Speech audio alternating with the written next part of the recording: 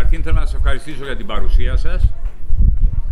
Όπως πολύ καλά ξέρετε, αυτή τη στιγμή που μιλάμε, αυτή τη στιγμή που μιλάμε, εκατομμύρια άνθρωποι σε όλο τον κόσμο μετακινούνται από τις εστίες, εστίες τους χωρίς βεβαίως να το θέλουν. Η αιτία είναι η, ο πόλεμος και οι συγκρούσεις, ε, είτε είναι περιορισμένες είτε είναι εμφύλιες, αιτία είναι η κλιματική αλλαγή, αιτία είναι οι πολιτικές διώξεις ε, και εγώ θα πρόσθετα σε αυτές τις αιτίες και την εξαιρετική και πέρα από το μυαλό των δυτικών, ας το ονομάσω έτσι, ανθρώπων ή των Ευρωπαίων, φτώχεια. Συνήθως αυτό το λέμε μετανάστευση. Συνήθως το λέμε μετανάστευση. Αλλά νομίζω ότι είναι ένα ζήτημα που πρέπει να συζητηθεί πραγματικά ε, και να δούμε αν και για αυτούς τους ανθρώπους ισχύει το προσφυγικό καθεστώς. Πρόσφατα δημοσίε... βγήκε ένα πολύ καλό βιβλίο, πολύ καλό βιβλίο γιατί το διάβασα κι εγώ του, του φίλου μου του Χριστόπουλου, το οποίο είχε έναν ωραίο τίτλο με τον οποίο διαφωνώ, δηλαδή έλεγε προσφυγικό μεταναστευτικό, αν ήταν πρόβλημα θα είχε λύση. Ε, εγώ λέω από τη δικιά μου τη μεριά ότι υπάρχει λύση και είναι σε όλους γνωστή. Υπάρχει λύση και είναι σε όλους γνωστή. Και ο Γιάννης ο Μουζάλας και εγώ επί πολλά χρόνια παλεύαμε και τουλάχιστον στα λόγια είχαμε καταφέρει να αναγνωριστεί από όλους τους αντίστοιχους υπουργούς εσωτερικών της Ευρώπης το γεγονός ότι το προσφυγικό μεταναστευτικό έχει τρεις διαστάσεις και πρέπει να επικεντρωθούμε και στις τρεις διαστάσεις του. Η μία η διάσταση είναι, ας την ονομάσουμε, εξωτερική. Δηλαδή ότι το, η προσφυγιά δεν πρόκειται να εκλείψει αν δεν εκλείψουν οι αιτίες της. Και τις ανέφερα ε, προηγούμενα, αλλά ενώ οι ίδιες αιτίες υπάρχουν σε όλο τον κόσμο, στην Μέση Ανατολή ε, θα έλεγα ότι είναι διαρκής. Διαρκής και σε όλη αυτή την ε, περιοχή. Το δεύτερο μεγάλο ζήτημα, η δεύτερη διάσταση, είναι η διάσταση των συνόρων. Θα ήθελα να προσέξετε την σκέψη μου. Ξέρετε ότι τη συνθήκη της Γενέβης ε, είχε, είχε προηγηθεί και άλλωστε είναι αποτέλεσμα η συνθήκη της Γενέβης τα, η Χάρτα των Ανθρωπίνων Δικαιωμάτων. Ε, λέω λοιπόν ότι δεν την πειράζουμε προς το παρόν και δεν την πειράζουμε γιατί φοβόμαστε ότι αν την πειράξουμε, δεν την δεν, αν πειραχτεί, δεν θα πειραχτεί προς το θετικότερο, αλλά προς το αρνητικότερο από τις πολιτικές που έχουν μια σειρά χώρες, ιδιαίτερα ε, της Δύσης.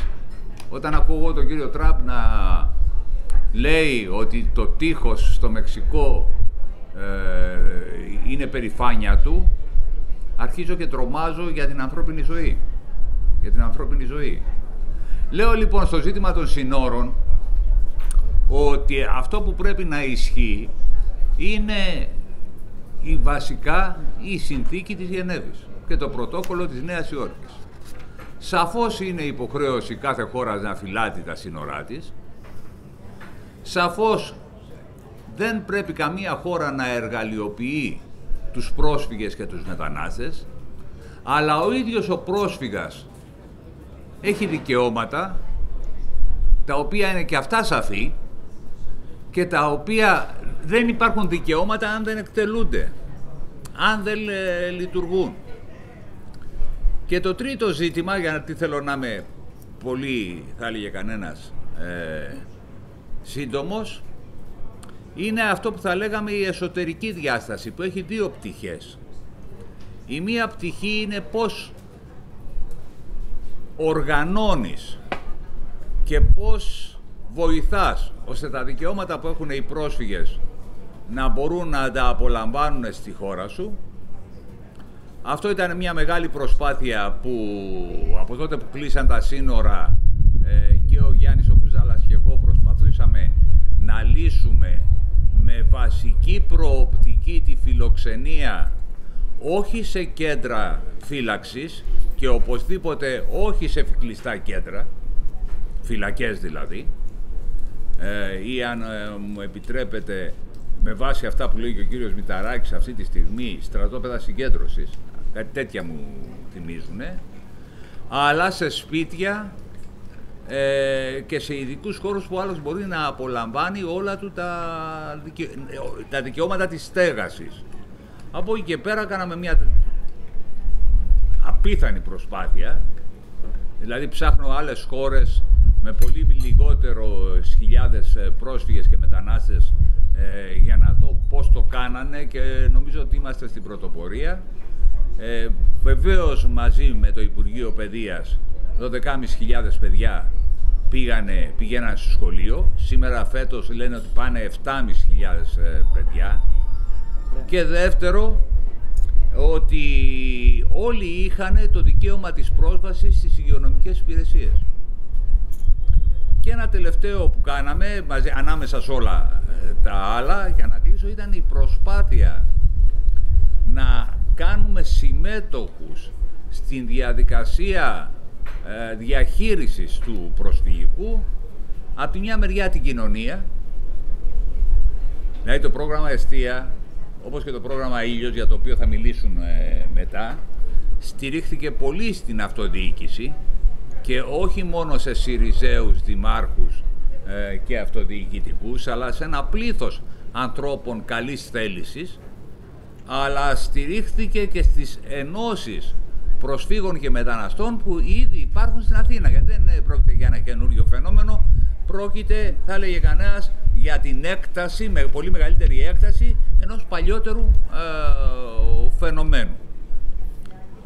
Και αν αυτό το πρώτο ζήτημα της διαχείρισης ε, που κερδίσαμε να γίνεται με χρήματα της Ευρωπαϊκής Ένωσης και όχι από τον κρατικό προϋπολογισμό βοήθεια αυτό στην προσπάθεια και της Ελλάδας να ξεφύγει από τα μνημόνια, κεντρικό ζήτημα είναι η δίκαιη κατανομή κάτω από ένα ενιαίο σύστημα ασύλου σε όλη την Ευρώπη. Σε όλη την Ευρώπη. Ε, όλοι έχουμε ελπίδες. Αυτή τη στιγμή στην Γερμανική Προεδρία λόγω της δύναμης της χώρας αλλά επιτρέψτε μου να πω ότι έχω πάρα πάρα πολλές αμφιβολίες διαβάζοντας τις δηλώσεις του κυρίου Ζερχόφερ γιατί ακριβώς η διαδικασία επιλογής ή εξέτασης στα σύνορα, στα σύνορα δεν πάβει κατά τη γνώμη του και αυτό σημαίνει ότι ο άλλος δεν μπορεί να μετακινηθεί. Όχι, δεν μιλάμε ελεύθερα, ούτε θα λέγει κανένας με κάποιο νόμιμο τρόπο. Κλείνοντας, θέλω να πω ότι κατανοώ πλήρως ή ελπίζω πλήρως ότι έχουμε, η ανθρωπότητα έχει να διαχειριστεί ένα δύσκολο ζήτημα. Θέλω όμως να πω ότι σε αυτό το ζήτημα υπάρχει λύση, υπάρχει λύση. Αυτή η λύση κάποια στιγμή θα γίνει πραγματικότητα, αλλά θα γίνει πραγματικότητα από τα κινήματα των ανθρώπων, από, τις, ε, από τους θεσμικούς φορείς και από τις κυβερνήσεις, οι οποίες θα θελήσουν να αφήσουν την ανθρωπιά τα ανθρώπινα δικαιώματα και τα ανθρώπινα ιδανικά να αναπνεύσουν. Γιατί αυτή τη στιγμή πολλές χώρες, πολλές κυβερνήσεις, πολλές νοοτροπίες, πολλές ε, ξενοφοβικές οργανώσεις πατάνε τους πρόσφυγες και τους μετανάστες στο λαιμό,